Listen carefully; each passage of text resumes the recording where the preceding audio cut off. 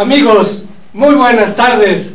Estamos aquí nuevamente en Contrapunto TV, que se transmite todos los miércoles a las 13 horas por astele.tv. Como verán, estamos con ánimos renovados. Como debe ser. Ya recargamos la batería. Así es. Esperemos que empecemos bien el año, a ver qué nos traen los reyes.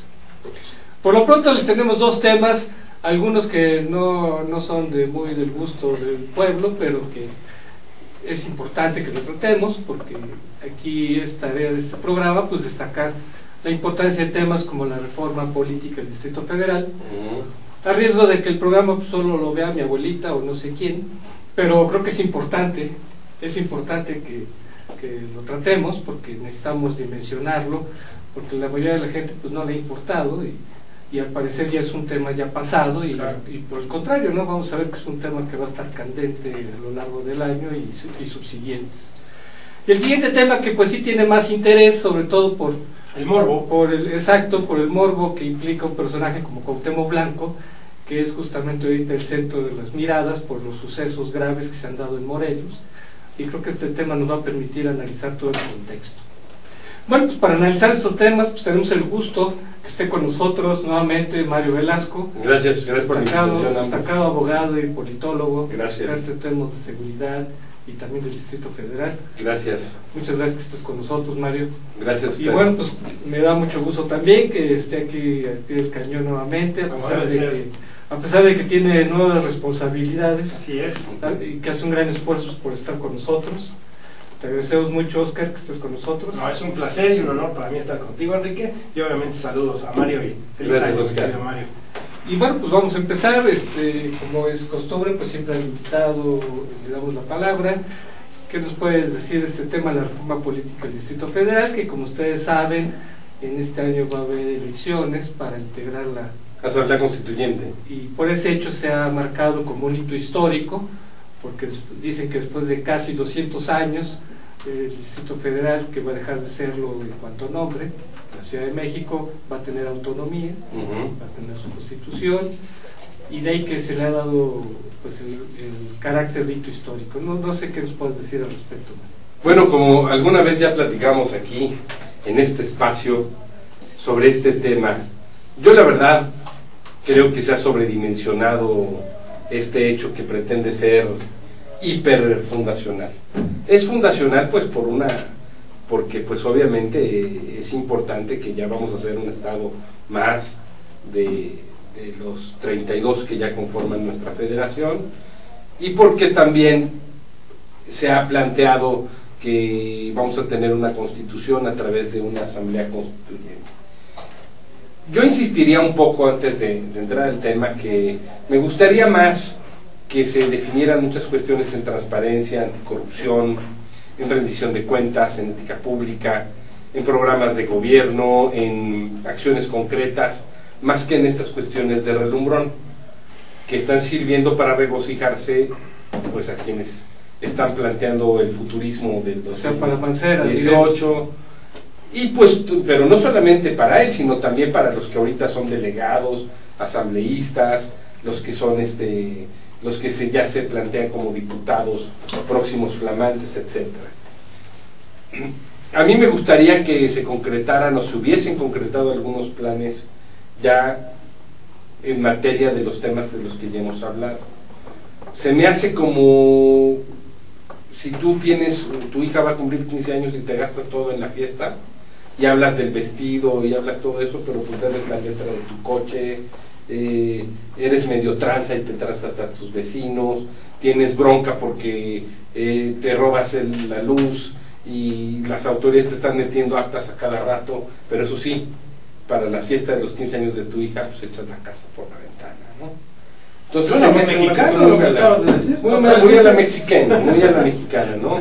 Se me hace muy a la mexicana eso, pero también, eh, también un poco valdría la pena que, que pudiésemos repasar lo que ha sido la historia de los citadinos, eh, digamos, si te quieres ir desde los aztecas y Tenochtitlan, desde que recibieron con oro a, a Hernán Cortés.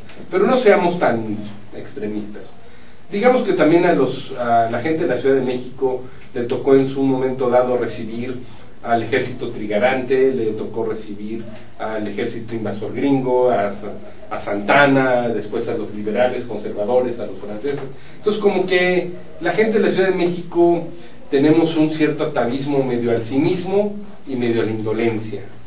Entonces yo creo que esto también en un sentido de una antropología política nos hace ver que lo que está ocurriendo en estas cuestiones de relumbrón pues no es nada nuevo bajo el sol para la Ciudad de México, es decir, la desatención de lo fundamental para irte por lo cosmético.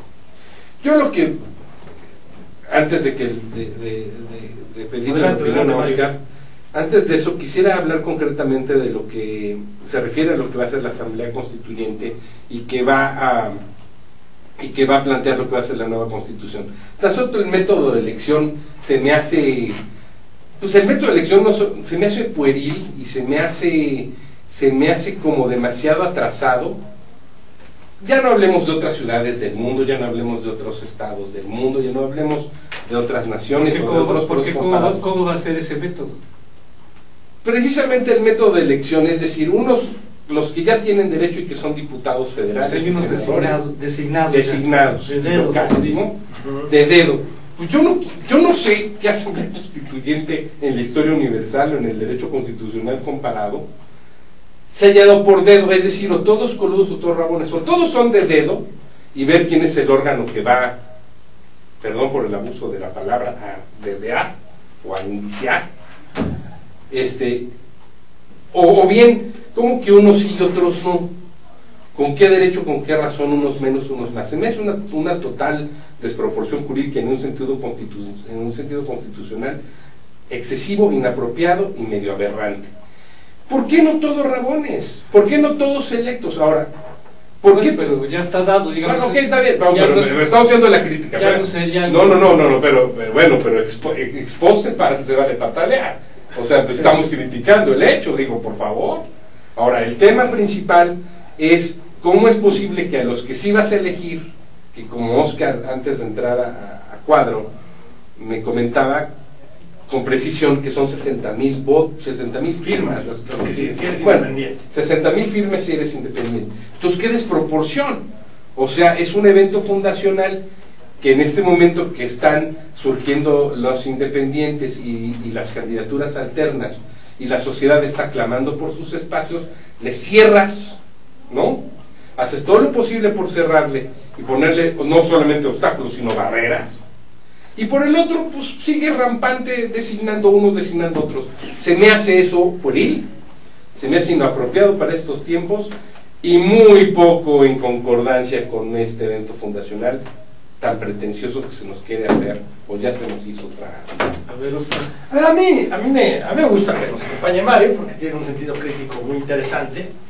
La verdad es que en muchas partes tiene razón, o sea, no hay una lógica real de cómo se está planteando esta, esta misma reforma, pero bueno, también hay que entender que es una reforma planteada por los políticos que tenemos ahorita. Entonces, lo pueril que tú puedes ver es lo pueril que tenemos de la política del Distrito Federal con, los, con, con esa asamblea que tenemos hoy, que está fragmentada y está paralizada de una manera única porque no lo habíamos tenido nunca así, habíamos tenido una planadora y ya estábamos más acostumbrados a la planadora que ahora tener esta división. El tema de que tú le pidas 60 mil firmas a un ciudadano donde hay delegados que no tuvieron esos votos, hay demarcaciones que no tuvieron esos votos y hay demarcaciones que cuentan con 5 o 6 distritos, entonces realmente es totalmente desproporcionada, pero tiene una intencionalidad de que este constituyente tenga una dirección y tenga una, una, una, una diatriba hacia dónde caminar, donde quieran ser simplemente PAN, PRI PRD. Los pero ni Morelos en Apatzingán, vamos. Sí, no, entonces es decir, de acuerdo. ¿eh? Es decir, este, esta situación lo que, lo que va a dar lugar va a ser a un, a un no, no quisiera llamar una constitución, sino va a ser un mamotreto pseudo jurídico de un montón de letra, de un montón de, de tinta en letra muerta, que va a dejar los huecos de nacimiento, sobre todo de legitimidad por lo que muy bien menciona Oscar. ¿Cómo es posible que le pida 60 mil firmas a un independiente cuando un delegado, ¿cuánto sacó, por ejemplo, el delegado en em, la delegada en Miguel Hidalgo o en Álvaro Obregón? Creo que sacó, en términos así, para, te digo un número real que conozco, 90 mil votos tuvo Víctor Hugo Lobo en Gustavo Madero. 90 mil en una delegación donde cuentan con 7 distritos locales. Entonces, si le pides 60 mil firmas a un independiente, bueno, pues mejor entonces que no, que entonces mejor que no sean tan cínicos. Entonces mejor que no incluyan a los independientes. O que no, o que les den otro vas en tipo contra de la moda Claro, pero, pero si les ese- das la opción de 60 mil firmas, ¿verdad? Les estás haciendo, les estás poniendo una barrera tan alta que, ojo, cuando alguien los sorprenda con esos 60 mil, se van a tener que aguantar. Sí, pero al final de cuentas ni, ni, ni siquiera esas 60 mil firmas le van a respaldar en votos directos a ese mismo candidato que suponiendo que llegase a obtener el triunfo en su distrito, no va a ser con esas firmas. Ahora, hay otro- Lo cual significa que es una simulación, ¿eh? Pero, pero claro, todo esto es, pero es que de lo que estamos hablando es eso. Que ese es el Este es un yo- tema de yo- yo simulación. ser- Yo sería lo que subrayaría. Todo el tema de la reforma política me parece simulación. Porque, a ver, que hoy por hoy el jefe de gobierno ya vaya a nombrar a su procurador y a su secretario de Seguridad Pública, siempre ha sido simulación, porque siempre lo ha nombrado. Al final de cuentas, El presidente de la República nunca se ha opuesto a eso. Nunca se ha opuesto. Salvo por el caso del linchamiento de Tláhuac, Marcelo. que, y, y que trató de ser eh, magnánimo Fox, quitando al entonces comisionado de la Policía Federal. Así ¿no? Al mismo tiempo. Entonces, eh, digamos que lo importante de esto, y que me preocupa a mí, es una constitución que van a hacer con tantos vicios de origen. Digamos, eso lo comprendías hace 300 años, lo comprendías quizá en, en- en el, en- en el origen del constitucionalismo británico, en Juan Sin Tierra, lo comprenderías en Apatzingán, Claro. lo comprenderías en los conflictos de las constituciones mexicanas, ¿no? las federalistas, las centralistas. Pero en estos tiempos, con tantos recursos e instrumentos jurídicos, con tanta gente tan capaz, teniendo institutos de investigaciones jurídicas, teniendo legitimidad en las votaciones del Distrito Federal, claro, con sus vicios y asegúnes, Claro. bueno, entonces, ¿por qué entonces no hacer las cosas bien desde el principio? ¿Por qué provocar estas, estas cosas donde ni, ni estás ni das la total conformidad a los más y las minorías estamos, no sé si somos minorías, pero hablemos de ciudadanos. la respuesta yo creo que ya la dio Oscar. O sea, efectivamente es una reforma muy light, muy cosmética, que pareciera que nomás hay cambios de nombre, que en lugar de estatuto de gobierno ahora se le va a constitución, que en lugar de alcaldía, pero en lugar de delegación le va a llamar alcaldía. Y hasta la Ciudad de México. Eso, ese, ese, Oye, pero ese- mira, es- pero ¿eh? ese carácter, fíjate, ese carácter tan cosmético justamente obedece a lo que comentó Oscar. Es una reforma más para los partidos, para PAN, PRI, PRD, Claro. para que tengan el control del proceso. ¿Por qué? Porque ahí está Moreno. Si tú lo haces, como tú lo estás señalando correctamente, Como debió de verse. como debió haber sido, Morena tendría un papel ahí. entonces Morena podría tener mayoría y se sale de control el Pero proceso. sorpresas da la vida, a ver. No, yo, Entonces, yo- yo- yo- yo- yo creo que va, va a tocar el fondo, vas a tocar el fondo. Antes déjame nada más meter Sí, sí, un, claro. un comentario muy rápido. ¿Por qué? ¿Por qué si pudiéramos haber esperado más tiempo? ¿Por qué la tenemos ahora? Pues porque el jefe de gobierno quiere años. ponerse el relumbrón. O sea, a mí me parece que es grave porque una oportunidad histórica de haber hecho una buena reforma se va una vez más con el tema político. Ahora, el- el- eso que dice Oscar, que es digamos que ya la parte de la excavadora que nos permite echarnos el clavado al fondo, es, bueno, es de risa que crean que van a controlar todos los esquemas y que todas las cuestiones las tienen amarradas. ¿Por qué? Porque pues perdieron la, la mitad de la ciudad. Sí. Perdieron la mitad de la ciudad y la verdad no se lo esperaban, aunque las cifras, los datos y los análisis nos estaban indicando que eso iba a ocurrir. Bueno, en esta mesa muchos dijimos que no. Desolieron el. Bueno, pero, pero las encuestas CERES y todo indicaban que sí. Sí, sí, sí. Que, que, eh, iba a ser la emersión de una nueva fuerza política que era Morena en la Ciudad de México, pero además era, era- Pero, no, no era un pero- análisis pero- pero las encuestas no le daban mucha fuerza a Morena. No, perdón, había en Iztapalapa. Todas las que vimos, Recuerden ustedes, recuerden ustedes que la Ciudad de México se define en dos delegaciones, Iztapalapa y Álvaro Obregón. Y en esas delegaciones, Morena Gustavo estaba empotrada. Yo nomás metería a, ese, a, ese tri- a, ese tri- a esas dos. Pues mira, hay veces en que se ha dicho que hasta ni con Álvaro Obregón, que con Puritita Iztapalapa. Sí, sí. Y después del efecto Juanito, que no fue hace mucho tiempo y ya nadie se acuerda, pero fue un evento importantísimo y, ese sí, fundacional para el curso político de la ciudad. Vaya ¿verdad? que sí. sin hacer apologías al peje, pero la situación ocurre, o sea, no, no hay que observar las cosas, no por cerrar los ojos las cosas no ocurren, y eso es lo que pasó. ¿Qué es lo que está volviendo a pasar? Lo mismo, deja fuera a la, a la fuerza política que, que va a llevar a Monreal como su candidato dentro de tres años, trátalos de agandallar, trátalos de dejar al margen, pero la fuerza la tienen ellos en las calles. La fuerza la tienen ellos en los distritos, en las colonias, en las secciones. Es cierto. Entonces, el tema que subyace aquí importante es que está sometiendo a las fuerzas políticas o a la, una de la, la fuerza política más importante y representativa de la ciudad.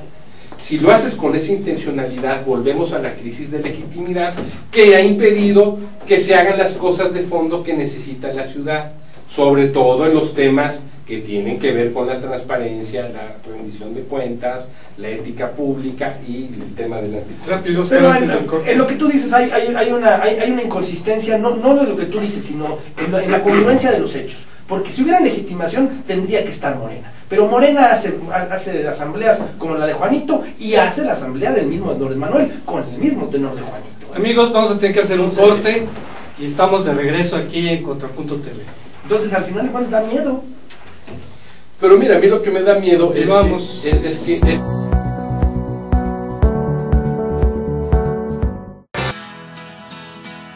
Crea tu propio negocio. Haz realidad tu proyecto. Comparte ideas para ganar dinero. Impulsa y entrena tu talento. Procura emprendimientos rentables y con futuro. Empieza hoy. Dayman, la receta del éxito. Dayman, por más de siete décadas y con presencia en más de nueve países, se ha consolidado exitosamente como una empresa que desarrolla, fabrica y distribuye colorantes, saborizantes y productos alimenticios por excelencia. Nuestros productos abastecen a una amplia industria dedicada al manejo de alimentos micro, pequeña y de media a grande escala ya que estos cumplen con altos estándares de calidad a nivel nacional e internacional y están elaborados para satisfacer las necesidades del mercado y gustos de nuestros consumidores. Nuestro principal objetivo es brindar un producto de calidad que nos permita mantener la lealtad de nuestros clientes y consumidores, excediendo sus expectativas de servicio. En Dayman desarrollamos la creatividad e impulsamos al máximo nuevos negocios. Dayman, proveedores de color y sabor por excelencia. Con Trujillo Betanzos y Asociados, tus proyectos están en buenas manos. Trujillo Betanzos y Asociados te ofrece servicios de fe pública en materia mercantil, asesoría legal, contable, fiscal y de negocios, litigio civil y mercantil, valuación y asesoría financiera y área académica. Nuestros clientes son nuestros mejores amigos.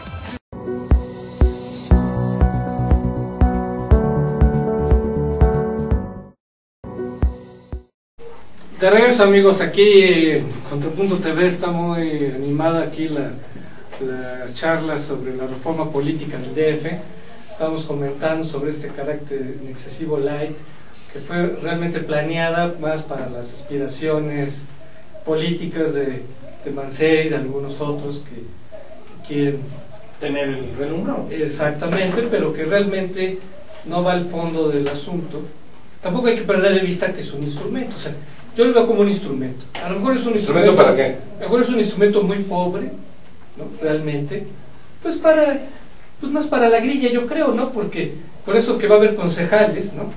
Va a haber la oportunidad de que más gente participe en la grilla política. Por eso, pero entonces, pero entonces estamos de acuerdo que de la dimensión, de la dimensión tan pequeña, con la oportunidad tan grande que pudo haber sido. Es decir, no, no estoy planteando que todos sean, para decirle a la mexicana, ¿no? No estoy planteando que todos sean, este, eh, que sean lerdos de Tejada, ni sean Juárez, o, o que sean Melchores o Campos, ¿no? De- hablando de los grandes cerebros del liberalismo, Que sean el nigromante, Guillermo Prieto, no estoy hablando que vayan a ser Lázaro Cárdenas, o que vayan a ser, si tú quieres, Narciso Basols de la izquierda, o Antonio Caso de la derecha, es decir, o, o Lombardo Toledano. No, pero por lo menos una visión de Estado un poco más apropiada para estos tiempos. Es decir, todos están brincando de gusto de decir, voy a firmar el acta constituyente como constituyente. No, deja la foto, la placa, la historia, ¿no? están aspirando a eso tan, tan, tan, tan subdesarrolladamente, tan pequeño, tan de papel, ¿no?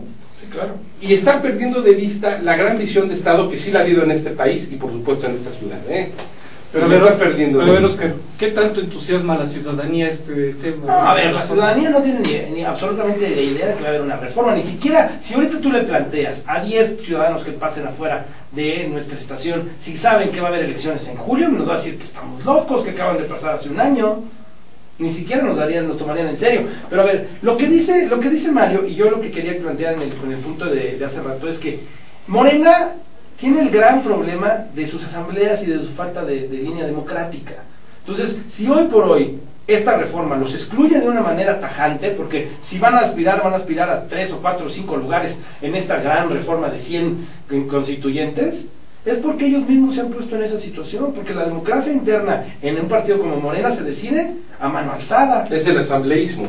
Ahora, pero luego déjame decir otro punto que me parece muy interesante. A ver, sí tiene razón Mario en que esto pues, pu- pudo haber no ni siquiera haberse dado y no va a cambiar el, el- el derrotero de la vida de los, de los defeños. Pero también creo que ya tener la reforma nos da materia para seguir avanzando en muchos temas. No, sin Ya hay duda. pastel, vamos sin duda, algo. sin ¿no? duda. Hay- hay- hay- yo creo que se abren, hay- yo creo que se abren canales de oportunidades y las regidurías me parece algo atractivo.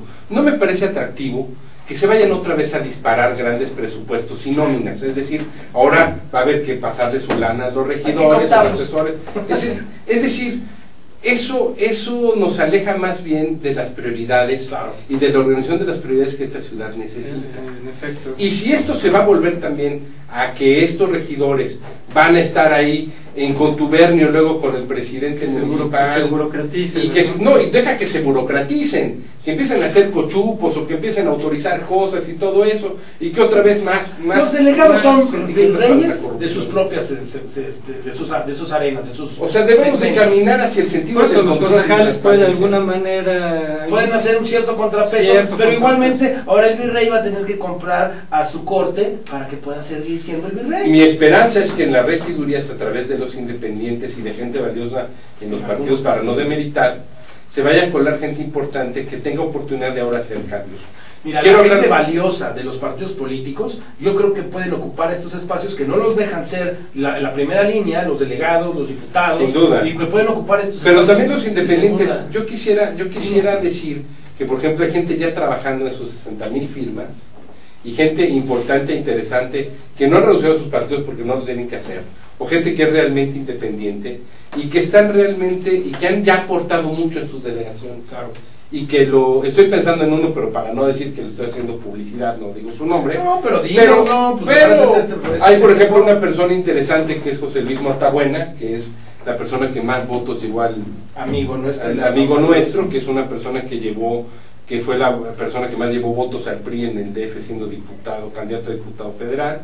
Y bueno, José Luis se está preparando ahorita para, para ser constituyente, recolectando sus 60 mil firmas. Y se me hace un hombre valioso. política nacional. un hombre valioso que ha participado mucho y que tiene y que la gente de todos los partidos e ideologías en la delegación Benito Juárez que estamos aquí junto lo reconoce. Entonces creo que como José Luis hay gente muy interesante y muy importante que, que va a ir dinamizando esta vida política. Es un área de oportunidad para no decir que todo está mal. Sí.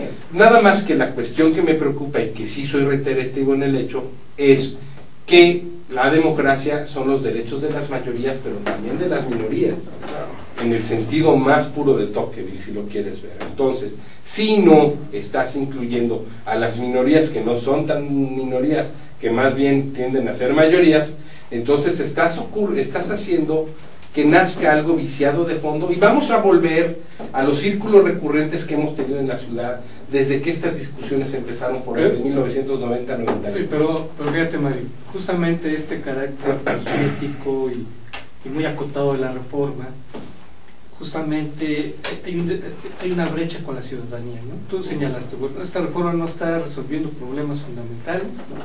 se ve como un instrumento muy pobre para eso. Ujú. Entonces, si a la gente no le resuelve problemas fundamentales cotidianos, a la gente no le va a interesar. Sí, va a ser una consulta más. Como Y, por y- y como piso. estás marginando algunas fuerzas políticas, si estas fuerzas políticas se avivan, pueden, pueden capitalizar el descontento y yo dudo que a Mancera le pueda servir mucho eso. ¿no? Mi esperanza es que se rompa el atavismo, es decir, que precisamente por lo que acabas de decir, se empiece a despertar, porque así empiezan los movimientos y comienzan los movimientos sociales, que en torno a esta elección, para tener los constituyentes y en torno a esta nueva constitución, se empiece a mover gente y sectores. No importa que sean de Morena, no importa que sean del PRI del PRD o de los ciudadanos, pero que se empiecen a mover y que ese movimiento concatenándose, pueda generar esta, este perfeccionamiento jurídico constitucional, que entonces sí podría ser mucho más valioso. No creo que, no creo que tampoco los ciudadanos vayan a tirar la toalla y a ser tan dejados en el hecho. Puede ser que se empiecen a cobrar conciencia estos movimientos y dependerá de estos, de esta gente interesante que recolecte sus 60 mil firmas, que cuando lo haga le digan, oye, es importante participar, fíjate que hay que meternos de constituyentes para poder hacer esto, esto, esto, esto y sobre todo no dejar de largo las regidurías. Insisto, sí hay una oportunidad para mejorar, pero hay que romper los círculos viciosos de los que ya los citadinos estamos, estamos ya acostumbrados y cansados. ¿Cómo es posible que en otras entidades, como Nuevo León y, o en el sur, como en Chiapas, o como en San Luis Potosí, o como en las zonas del Bajío o en Guanajuato, la gente es más dinamizada y tienen mejores políticos, mejores controles y mejores administraciones. Qué bueno que toca el tema de los estados, Oscar, porque se, ha criticado que esta reforma ha, dado más privilegios a, la Ciudad de México en relación a otros. No, yo no creo. A ver, si vamos a hablar de un tema que es cosmético... Recuerda Ernesto Rufo lo que comentó,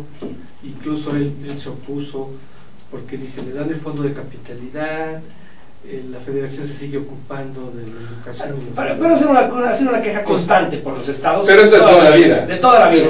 justamente ellos opusieron. Sí, pero acuérdate que la ciudad es quien más recibe gente de otros estados del país. Claro. Y recuerda que la mayor gente, la mayor parte de los, de los que habitamos la Ciudad de México somos hijos de gente de provincia de primera o segunda generación mi padre era de Veracruz y mi, y mi abuelo era de Jalisco. Pero es que mira, es, que justamente, es mira, justamente un problema de fondo ya se ha olvidado es justamente lo del centralismo. Cada vez los problemas de la ciudad son más grandes por el centralismo. Sí, en eso estoy de acuerdo. Nada más que, nada más que hay, hay, interesante. Una reforma del Estado. Pero, pero Oscar y Enrique, hay una cosa también interesante. También el, el centralismo es un problema, pero la descentralización lo ha sido. Cuando se descentralizó el tema de la educación, se convirtió en un problema. Cuando me acuerdo que José Francisco Ruiz Macié era subsecretario de salud y fue la primera descentralización importante en los temas de salud, dijo, estamos descentralizando los problemas a los estados porque no los estaban asimilando bien. Cuidado, ¿eh?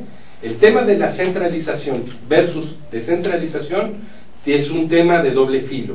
¿Por qué? Porque a veces descentralizan los problemas. Claro, ni el agua, el tema de la educación, estaba hablando de las secciones en Oaxaca, toda la coordinadora donde se empotró, por cierto, en la Ciudad de México. Entonces, pero por décadas se ha hablado, pero mira, por décadas se ha hablado, ¿qué hace la Secretaría de Marina aquí? Por décadas se ha dicho. ¿Qué hace la Zagarpa aquí? Pero a ver, o sea, pero no es un cuadro de edificios y administración. Cuando, cuando inició su, discusión, Mario, habló de esos temas. A ver, el DF ha tenido una historia particular. pero la delegación, pero la delegación, por ejemplo, de la Secretaría de Marina en Veracruz, la Secretaría de Marina es, es la Escuela Naval de Antón Lizardo. La Escuela Naval, Principal está en Veracruz, en Antón Lizardo, no está en la Ciudad de México. Eh, digamos que los buques de investigación de la UNAM, hablando como Universidad Nacional, porque no es una universidad metropolitana. Bueno, la UNAM está en en el la UNAM está, pero la UNAM está muy centralizada. Claro, por eso, por eso fue en su momento crear la UAM, para crear una universidad metropolitana y descargar a la Universidad Nacional de que fuese puramente metropolitana. Ese es otro debate, y, lo, ves, lo ves en el tráfico, y lo ves en el tráfico. Yo lo, que quiero, refleja ese yo lo que quiero asentar, yo lo que quiero asentar y Rufo a lo mejor no lo ven en la dimensión estructural del tema de la centralización versus descentralización, es que a veces centralizar no es malo, ¿eh? Y a veces descentralizar no es. Entendamos que Rufo lo hace como una, una visión de decir, esto es una reforma cosmética. ¿Cuál es el argumento? Pues meter el tema de los estados. Es decir, que no agarren el tema, de los chilangos claro. a ellos. No, no es así. No ese es el tema. Porque también nosotros recibimos a la mayor parte del, del, del, emigrante que viene de provincia y de las zonas rurales. Ahí están los datos y las estadísticas, ¿eh? desde 1964, la década de los 70, etcétera. Que por eso también hubo planes como el de Ramón Aguirre en su tiempo de hacer la ciudad más cara para que la gente se fuese o dejase de venir. Y además ha sido por ciclos. Cuando la ciudad se volvió peligrosa, la gente se fue. Sí. Y cuando, la, ciudad, cuando la, exacto, cuando los estados se volvieron peligrosos, aquí, hace cuatro o tres años cuando la cosa estaba insostenible en Nuevo León, toda la gente mandaba a sus hijos a estudiar y a vivir aquí a, claro, a exacto. Ciudad de México. El TEC de Monterrey, Yo- Ciudad de México. Y ahora que Nuevo León está creciendo más que el DF, no dudes que se vuelvan a regresar. Sí, a ver, es un O sea- tema, es un tema de, de- de momentos. Y Pero tiene sí que ver- creo que la Ciudad de México tiene por historia esta trascendencia y esta importancia. Por eso nos quejamos de una reforma que no fue a fondo. Pero todo va a mejorar si te metes al tema, perdón que sea otra vez Reiterativo. insistente y reiterativo, si te metes al tema de mejorar la transparencia, el acceso a la información pública, la rendición de cuentas y los temas de anticorrupción, esas cosas per se van a hacer que mejoren el resto de las dinámicas Y de la administración y pública no están olvidados. y las políticas públicas. Y aquí están Y esos temas están olvidados. Entonces, si quieres mejorar, porque si los temas de centralización y descentralización, mejoras y mejoran los sistemas administrativos, porque la ineficiencia, déjame decirte, también Oscar, es otra forma de corrupción. Es, Claro. es- y es brutal la ineficiencia. Y es brutal la ineficiencia que hay. Ahora, hay delegaciones que obviamente funcionan mejor que otras. Sí. Sin duda, Miguel Hidalgo funciona mejor que, que a lo mejor eh, Milpalta. ¿no? ese, ese es el debate con mi mujer. Yo siempre he dicho que Miguel Hidalgo funciona mejor que Gustavo Madero, pero ella me dice que no. Y luego Benito Juárez, que sí Pero- funciona mejor que, que Miguel Hidalgo. Pero si, lo ves Vamos a ver. como, pero si lo ves como gobierno digital, la Ciudad de México está en la edad de piedra. O sea, hay infinidad de trámites que ya se podrían haber hecho. Todavía estamos hablando en la Ciudad de México de una contraloría, todavía una contraloría como, era, como se hizo en la época de Don Miguel de la Madrid, ahí donde su primer contralor fue Francisco Rojas, ¿no? En la Secretaría de la. Contraloría. Si tú quieres cambiar el, el nombre, el titular de un solamente puedes ir a la tesorería que está en la doctora. Entonces- solamente ahí lo puedes hacer. Ahora, también, también hay que decir unas cosas. Esta ciudad también tiene muchos privilegios, y lo hablo en el sentido no peyorativo, al contrario. en el de- desarrollo humano. Desarrollo humano de, de protección a la gente de la tercera edad, a los niños, a las madres solteras. Tiene programas social, interesantes entonces, también. y con tanto deterioro económico es valioso cuando tú ves que la gente que la gente de la tercera edad puede transportarse gratuitamente en el transporte público. Eso en pocas ciudades del mundo ni en Suecia ocurre. O, o- Aunque hay muchos programas clientelares que, como el de vivienda, que favorece. Sí, hay unos, que está favoreciendo hay unos que clientelares, está en el hay unos clientelares y hay unos que se aprovechan de esos programas. Pero también hay necesidades objetivas, que la gente de la tercera edad necesita transporte gratuito y que necesita lugares para estacionarse o sentarse cuando va en el vagón del metro. Eso es una cuestión que también es, es valiosa y vale la pena rescatar. Lo que debemos de hacer es que esas cosas funcionen para todos, en todo momento, sin importar qué partido gobierne, para que no haga uso de esas clientelas para que gane, solamente a través de los temas No, de ese sí es una cuestión lo podemos general. lograr, ¿no? Esa sí es una cuestión general, pero por ejemplo hay, hay programas que sí tienen unos sectores muy, muy clientelares. Mira, tú vas a otras ciudades, por ejemplo, vas a San Francisco y ves, y ves todo la- este proceso de los homeless, la gente que vive en la calle. Yo tuve la oportunidad de verlos y no vi a uno ni dos, los vi varios y concentrados en varios lados. Entonces, también en la Ciudad de México, por ejemplo, tú tienes programas donde la gente que vive en la calle vas y lo recoges, les das alimentos, techo, para que duerman, pero mucha de esa gente luego no quiere estar ahí. Efectivamente. ¿Por qué? Porque no pueden, no pueden hacer lo que quieren. Y no los maltratan, simplemente, oye, esta es la comida, tienes que bañarte. Hay un horario y hay un orden. Me duermo y sabes que en la mañana me voy. Entonces, pero es una, es una ciudad que tiene una vocación social fuerte. Creo que eso es lo importante que sí debemos rescatar. Pero mientras no haya transparencia y combate a la corrupción, todo eso se va a la cañería porque lo que cuenta es todo el dinero que se va y los recursos por el otro. lado. Habría que ver cuántos funcionarios van a ser a castigar. elevemos el nivel del debate en torno a esta constitución de cuáles van a ser sus esquemas, instrumentos, métodos para mejorar la ética pública y los temas de la anticorrupción. Esa sería una propuesta. Y yo nada más lo- lo- le añadiría que el ciudadano se comprometa y que sea más responsable sobre este proceso, que no lo vea como cualquier cosa. Que no lo vea con esa indiferencia e indolencia de que otra cosa. que- Muy bien amigos, pues vamos a hacer un corte y vamos a regresar ya con el tema de Cuauhtémoc Blanco y los sucesos que están pasando en Morelos. Regresamos aquí en Contrapunto TV.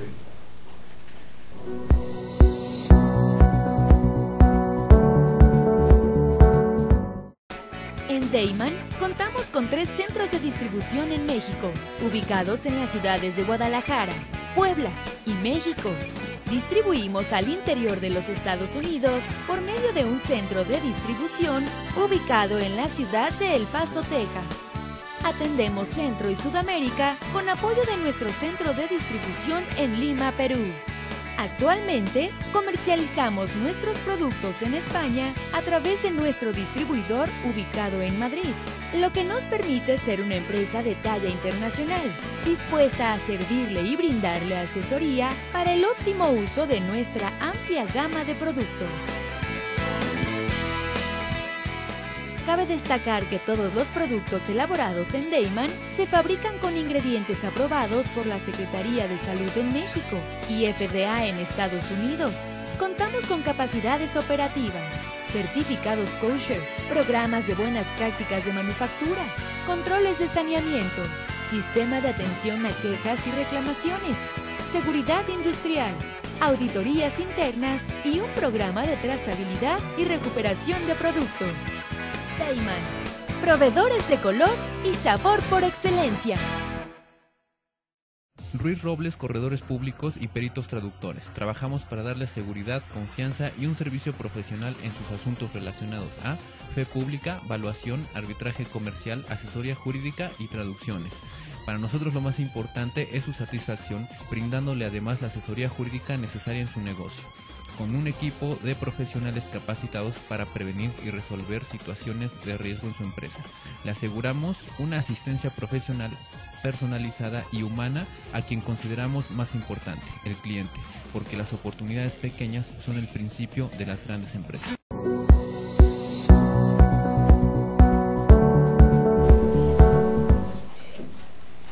Estamos de regreso aquí en Contrapunto TV y vamos a tratar el tema eh, de Morelos. Hay dos hechos relevantes que, que, merecen comentarse.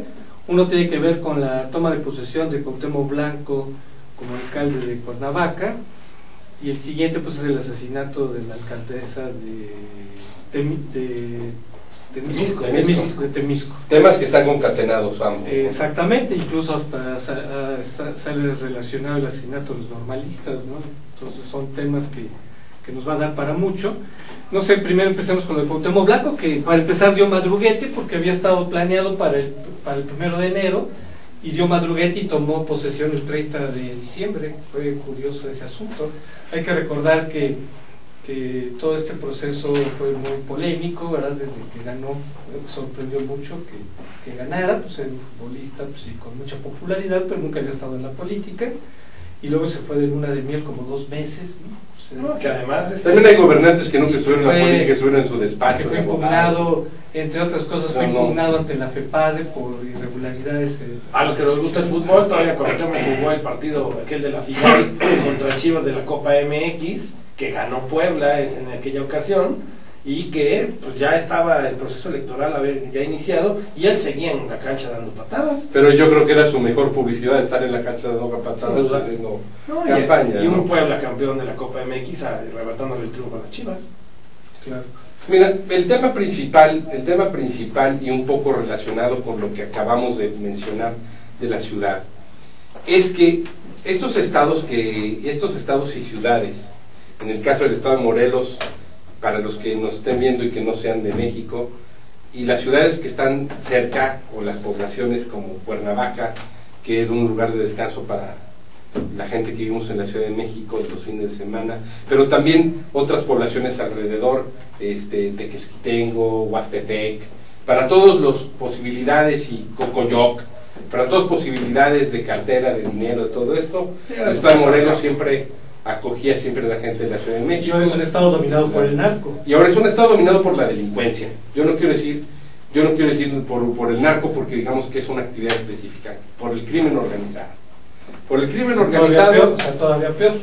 crimen organizado que además es en la ruta al, al estado de Guerrero, ¿no? Entonces, Eh, aquí lo que está ocurriendo es que viene un, viene un deterioro desde hace mucho tiempo, desde el último periodo en el que el PRI estuvo, y por supuesto, como decía Octavio Paz, no hay límite para el deterioro, se fue deteriorando todo en los subsiguientes gobiernos panistas, y de pronto ya nadie sabía qué hacer. De pronto, eh, Cuernavaca, una de las ciudades más seguras del país, centro vacacional, se volvió un lugar abandonado, un páramo donde la gente, si tenía sus casas grandes, pequeñas, modestas, lujosas, dejó de ir por el nivel de secuestros, porque los halcones dominaban, los halcones, los que se dedican a ver quién entra y quién sale, y que pueden ser desde el vendedor de helados, el vendedor de tacos de canasta de la esquina, o, o- o el niño que cuida el, eh, Los coches, los en una- coches, en ya ellos tenían un celular y te avisaban quién entraba y quién salía del Estado, con posibilidades y que no, y que así ocurrió en los sexenios de Vicente Fox y de, y de Calderón, y que eso pasó en el Estado de Morelos, hasta que ahora que llegó Graco y que llegó el PRI, parece que hubo un mejor entendimiento, y que, de- y que con Graco hay que reconocerle, eh, Cuernavaca se, se tranquilizó y volvió a ser Morelos un poco más seguro. Aunque hubo marchas muy, muy fuertes pidiendo su renuncia. Claro, pero pues ya estamos viendo, ya estamos viendo quién puede financiar los nos al mando único, quién te puede mandar marchas, es decir, hay, hay una serie ahí de intereses concatenados, pero el hecho es que a partir de Graco y con el gobierno federal eh, priista, la cosa mejoró en Morelos. ¿Cómo ves eso, Oscar? Yo lo que creo, a ver, a ver, evaluamos el gobierno de Graco. Cuando inició Graco todo el mundo hablaba que era un gobierno muy malo. La seguridad, la gente se marchaba porque la seguridad estaba terrible. Y yo creo que de manera paulatina Graco ha empezado a sondear algunos temas, ha llevado un gobierno yo creo que con cierta estabilidad. Este tema de Cuauhtémoc Blanco, yo creo que en vez de perjudicarlo le beneficia a Graco. Mucho. Porque Graco no estaría siendo mencionado en esta mesa, por ejemplo, si no hubiera sido gracias a que va a Cuauhtémoc Blanco y le dice que le va a partir su madre. No, pero además es muy, Graco- grave, es muy grave la denuncia que hace. Graco, pero Graco estaba esperando, hacia eso vamos, Graco estaba esperando la oportunidad de lo que traía bajo el saco, sacarlo. Es decir, acusaciones y nombres que si bien son muy graves, si no están sustentadas, Graco está en un grave problema. Pero no creemos que sea tan ingenuo. Pero no creemos que Graco sea tan ingenuo de hacer acusaciones de ese tamaño Claro. sin pruebas. Ahora, también las personas que él ha indiciado como tales ya han salido a defenderse.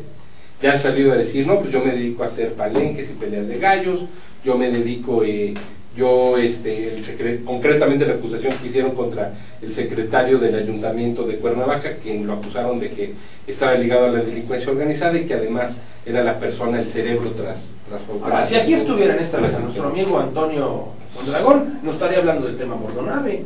Y nos estaría hablando a fondo de la gente que está atrás de Cuauhtémoc Blanco. Y no es gente que tenga un, un, una historia limpio, no tienen un... Aunque Bordonaba a su vez es un títere de otros de otros personajes de Claro. dudosa reputación.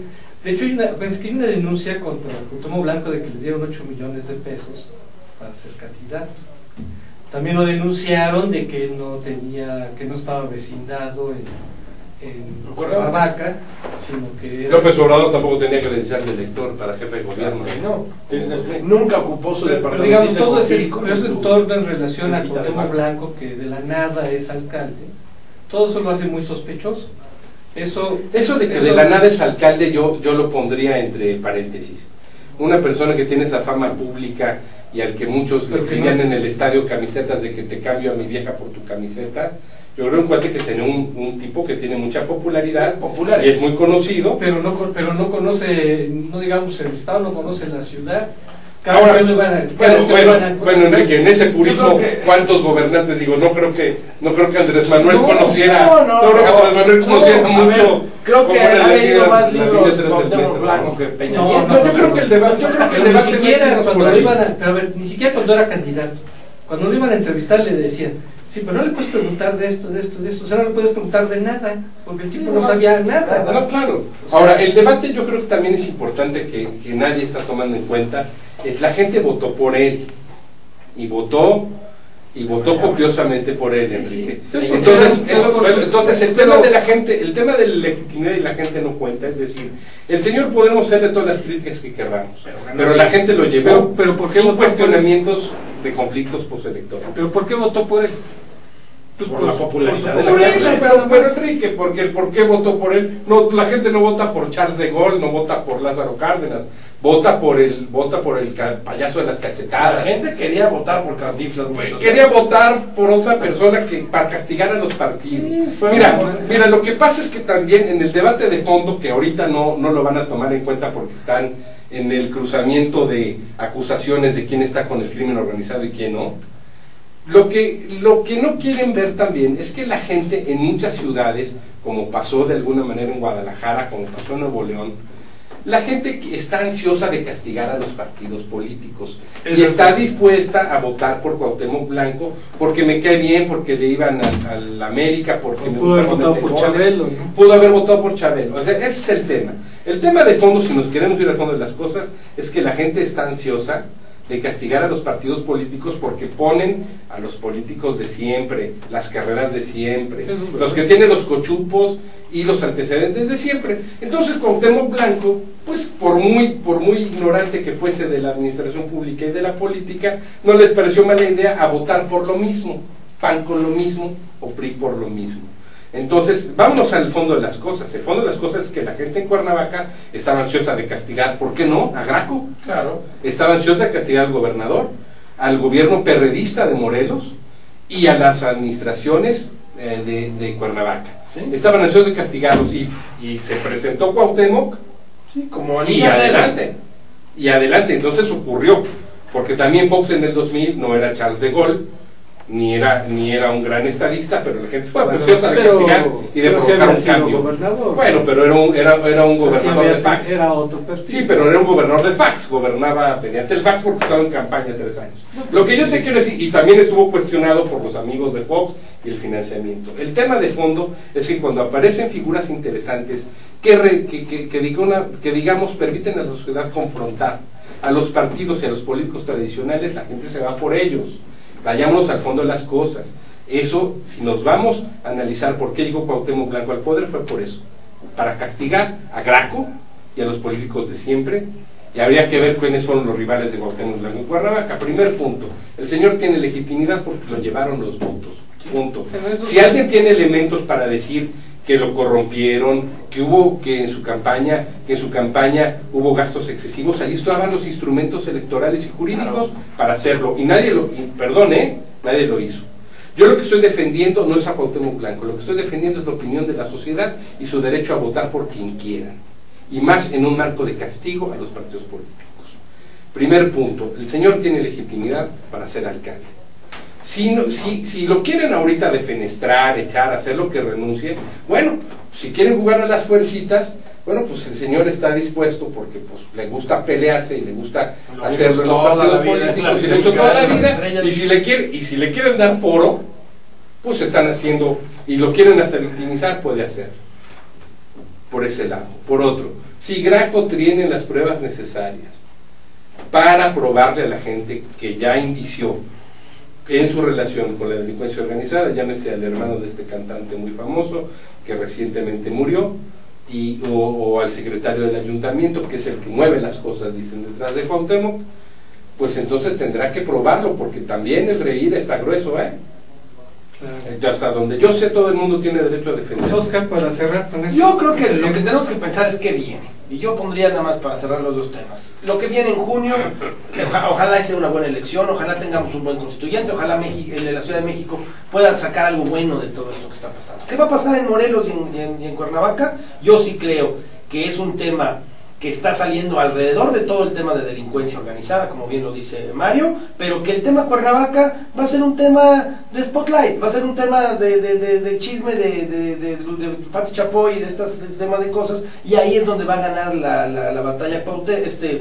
Mediáticamente se la va a Mediáticamente la va a ganar. Ahora los Y ciudadanos de jurídicamente si no tiene los instrumentos probatorios. Bueno, ¿eh? amigos, correcto. nos tenemos que ir. Qué bueno que quedó aquí la discusión todavía un momento candente. Yo pienso que sí va a dar mucho ese tema de Morelos. Claro, Van a salir muchas cosas, porque, porque tiene muchas ramificaciones con otros, otros temas que también son muy explosivos. Amigos, pues nos despedimos. Nos da mucho gusto que hayan estado nuevamente con nosotros. A, a nosotros también nos da otra vez gusto de retomar, de retomar aquí las transmisiones. Los invito a que se queden en astele.tv con eh, Si yo fuera servidor público, con Miguel Muñoz. Gracias, Gracias. los que nos ven por Y hasta la próxima.